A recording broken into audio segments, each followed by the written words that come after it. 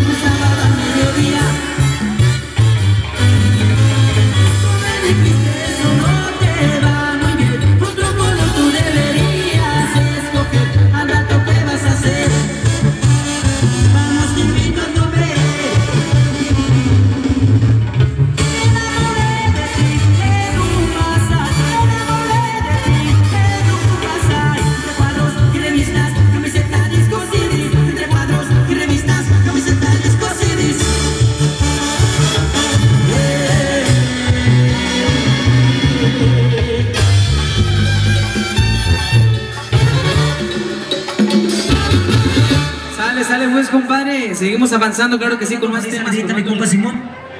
El temazo, el temazo de las cuatro milpas, por ahí para la raza de Hierbabuena, compadrito que nos está acompañando. Tres, en las 30 cartas también. Y los tres gallos, compadre. Ahorita complacemos con ese temazo de los tres gallos.